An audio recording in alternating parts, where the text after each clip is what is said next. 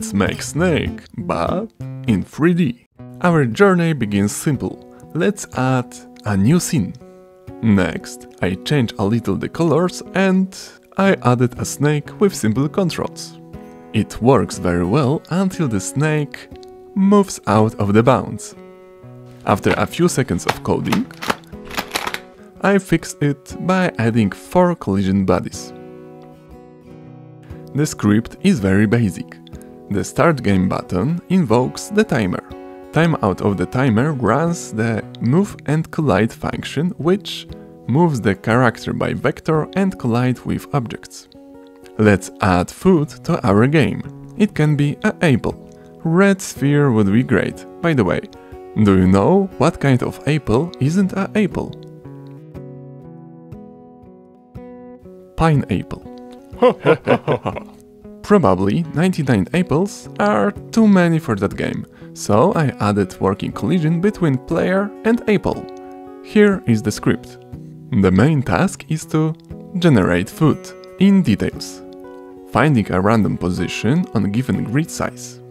I check if the position doesn't collide with the snake. If there is a collision, the function repeats itself. If not, it adds a new food to the scene. As the next step, I added extending the snake, like in real life. When you eat, you get bigger.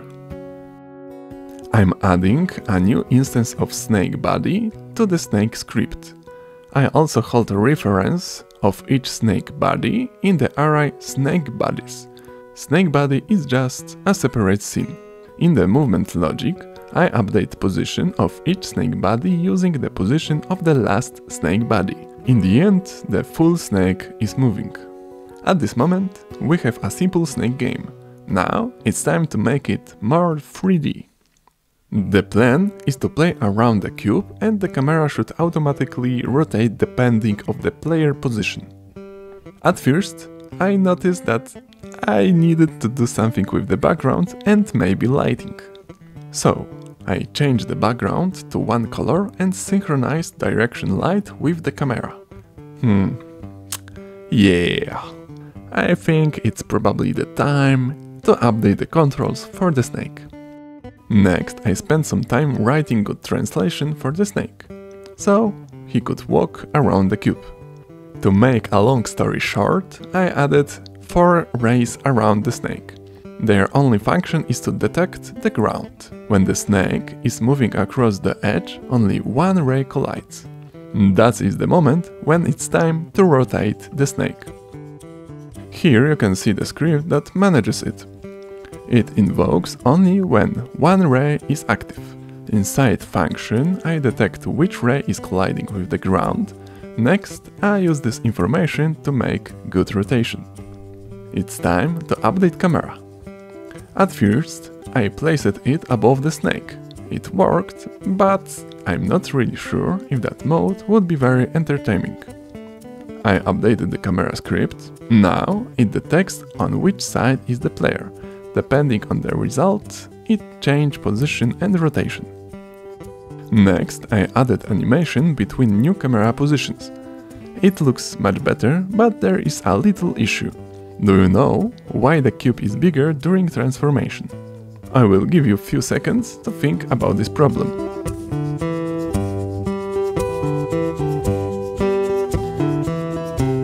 Solution!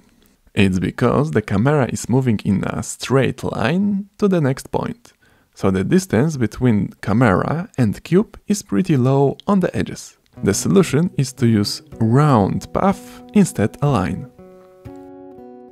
After fix, we have a much better rotation. Next, I updated the foot logic to appear on all sides. There is an issue with the visibility of foot. The player doesn't know where to go to find the next piece of foot. I was thinking about it and decided to add a pointing arrow. You can see them from far away, but they're also visible from a short distance, which can be annoying, so I changed the parameter called distance fade to be pixel alpha. It means that the object fades depending of the camera position. After that small update, the part of the arrow is done. When arrow is close to the camera, it fades away. It's time to add some music.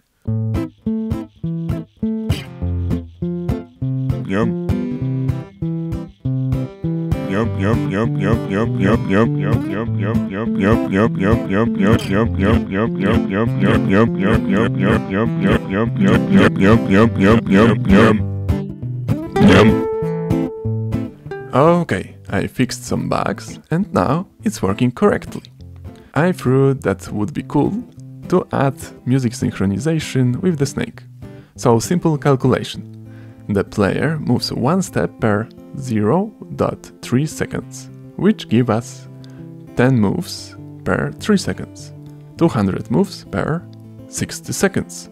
So the recorded music use 200 BPM tempo and you can hear the effect right now.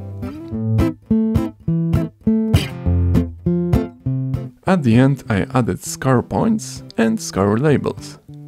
How many points will you get? You can play it on the itch.io. Links are in the description. Thanks for watching. Write down if you liked that video and see you to the next time. Bye!